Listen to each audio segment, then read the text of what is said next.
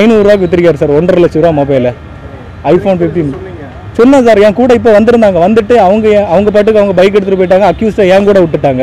அவன் என்னடான்னா நாங்கள் போகிறோம் சார் எனக்கு வயிறு பசிக்குது தலைவலிக்குது அப்படின்னு சொல்லிட்டு நான் ஒன்று சார் அவங்க இப்படி சொல்லாங்க நான் என்ன பண்ணுங்கன்னு கேட்க உடனே நீங்கள் அதை அட்ரஸ் ஃபோன் நம்பர் வாங்கிட்டு எழுதி விட்டுருங்க அப்படின்னு. அங்கே தான் சார் இருக்கேன். சார் என் பேர் வந்து சலீமு. நான் ஹோட்டல் எவரெஸ்ட் சென்ட்ரலில் மேனேஜராக ஒர்க் பண்ணிட்டு இருக்கேன்.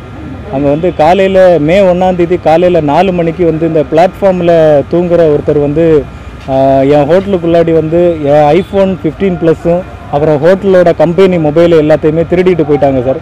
நான் வந்து அந்த நாலு மணிக்கு இதை எடுத்துகிட்டு போகிறாங்க நான் அஞ்சு மணிக்கு வந்து கேமரா செக் பண்ணி பெரியமேடு போலீஸ் ஸ்டேஷனில் போய் அந்த ஃபுட்டேஜை வந்து நான் அவங்கக்கிட்ட காட்டிட்டு இந்த மாதிரி என் ஹோட்டலில் வந்து ஒருத்தர் இந்த மாதிரி எடுத்துகிட்டு போயிட்டார் சார் நீங்கள் வாங்கன்னு சொல்லும்போது இல்லை காலைல பத்து மணிக்கு வாங்க அப்படின்னு சொன்னாங்க.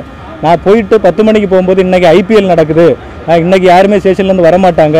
நாளைக்கு வரோம் அப்படின்னு சொல்லிட்டு என்னை வந்து புறக்கணித்து திரும்ப விட்டாங்க. நான் அதுக்கப்புறம் அடுத்த நாள் காலையில் போயிட்டு அவங்கக்கிட்ட இந்த மாதிரி மேடம் ஃபோன் எடுத்துகிட்டு போயிருக்காங்க. நீ கம்ப்ளைண்ட் எழுதி கொடு அப்படின்னு சொன்னேன். கம்ப்ளைண்ட் எழுதி கொடுத்ததுக்கப்புறம் எனக்கு ரெண்டு மூணு நாள் அவங்க எந்த ரெஸ்பான்ஸுமே பண்ணல.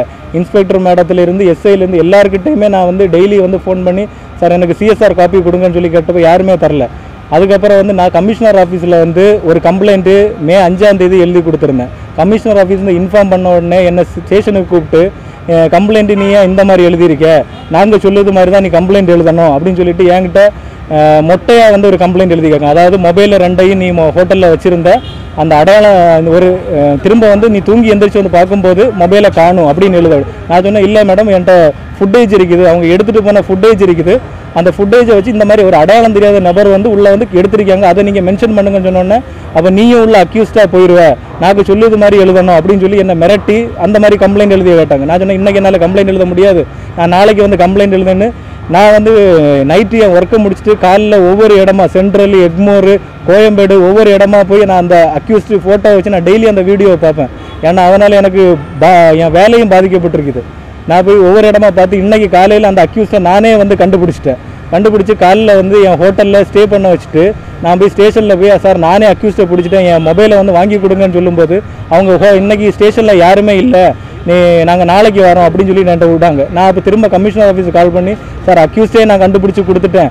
அவங்க ஃபுட்டேஜுக்கும் எந்த ஒரு ரெஸ்பான்ஸும் பண்ணலை. அக்யூஸ்டும் கண்டுபிடிச்சி கொடுத்து ரெக்கவரி கூட வாங்கி கொடுக்க மாட்டேங்கன்னு சொன்னதுக்கு திரும்ப வந்து எஸ்ஐ சாரை வந்து அனுப்பி விட்டுருந்தாங்க. அப்போ அவன் வந்து கடை கடை எந்த கடையில் கொடுத்த எவ்வளோ ரூபா கொடுத்துன்னு ஆளை எல்லாமே காட்டிட்டு அந்த இடத்துக்கு வந்துட்டு அவங்க அந்த பர்சன்ட்டை வந்து இந்த மாதிரி மொபைல் கொடுத்தான்னு கேட்கும்போது இல்லைன்னு சொல்லி ஆனால் அவன் மொபைலை வாங்கி நான் செக் பண்ணும்போது அவன் சொன்ன மாதிரி பிரபுன்னு ஒரு நம்பர் காண்டாக்டில் இருக்குது.